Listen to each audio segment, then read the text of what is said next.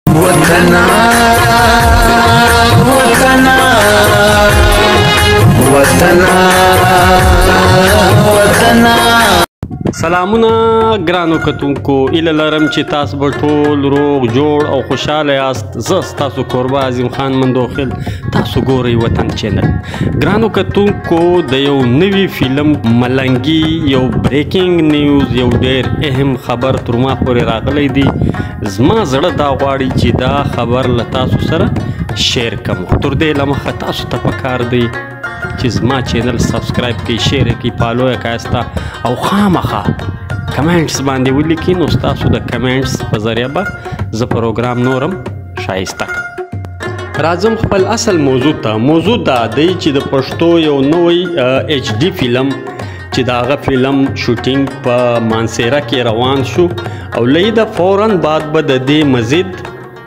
کارم پیل سی مزید شوټینګ به هم پر ډیرو خوبصورت او پر ډیرو شایسته مقاماتو باندې وسی په دې فلم کې شاید عثمان صاحب یو چینج راوستی دی چونکه شاید عثمان صاحب د دې فلم ډایریکټر هم دی او ورسره ورسره د دې فلم پروډیوسر هم دی اول وار شاید عثمان صاحب په دې فلم کې یو خاص چینج راوستی دی د ویلن په شکل په دې کې یو نوې ویلن اخستی دی هغه ویلن څوک دی جی ها هغه ویلن اصغر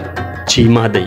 اصغر چیما به تاسو ټول پیژنئ استا چې اصغر چیما په ډیرو ډرامو کې مرکزی کردارونه ادا کړی دي په هغو ډرامو کې یو ډرامه که ستاسو په یاد وي اسنین یو قاتل دی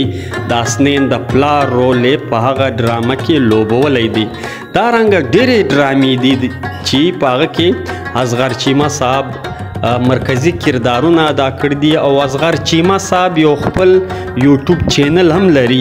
تاسو به ټول د یوټیوب چینل لارې هم پیژنئ استا اصغر چیمه اوس بس تاسو په ذهن کې یو سوال راځي چې اصغر چیمه چیمه لفظ یې ورسره لیکلی دی نو دا کس پښتون دی که پنجابی دی ولی چیمه په پښتانه کې د یو قوم نوم چیمه نسته دا کیسه داسې ده دا چې اصغر چیما خیبر پښتونخوا کې خپل یوټیوب چینل چلولی بیا له خیبر پښتونخوا ځخه اصغر چیما صاحب پنجاب ته لاړی په پنجاب کې یوټیوب چینل چلولې اولته لډیرو په شوبیز خاوندانو پنجابیانو سره تعلق راغی نو د یو استاد سی هغه چیما و هغه د ته ډیره ډیره شوونی او شوولې په دې فنکاری کې د ډیره مرسته وکړه نو ځکه د پر خپل نوم سره د چیما لفظ اډ کړي اصغر چیما کټر پښتون دی بهترینه ځوان دی اول وار شاید عثمان صاحب سکم دی په خپل فلم ملنګي کې د مین مرکزی ویلن کردار ورکړی دی شاید عثمان صاحب دا وایي چې دا چینج به کتون کې ډیر خوش کی له شوبي سره ریلیټډ خلک سکم دی هغه دا وایي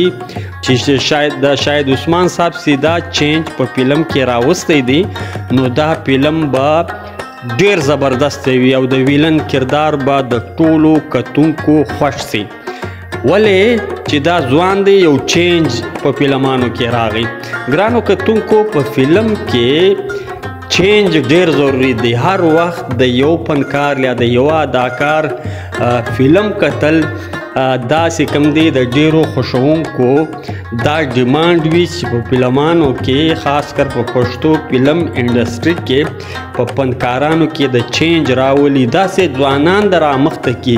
دا سې هنرمندان در مخته کې دا سې اکټران در مخته کې چې هغه باندې فلمان جوړ سي او د فلم انډستری ترقی وکي دا پر مخ باندې لاړې سي او یو خبره به زه تاسو سره بل هم وکم په دې کې مرکزی رول شاهد خان ته ور کړی دی شاهد خان په دې کې د ایرو کردار ادا کوي شاهد خان په خپل لازغر چیما سره ډیره مرسته کړې ده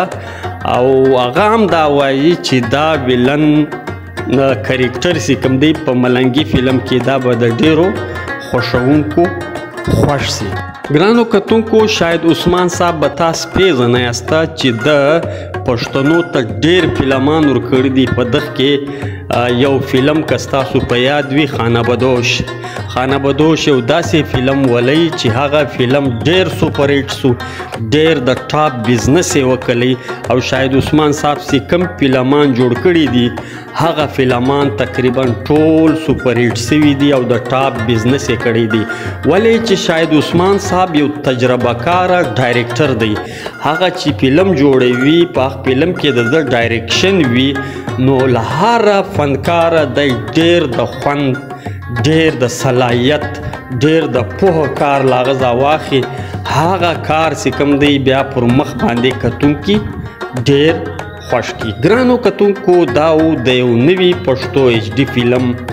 معلومات اهم اهم معلومات چې مال تاسو سره شیر کړل تربل پروګرام پورې مقرلو بادار باندې سپارلی یاستا د خدای پامان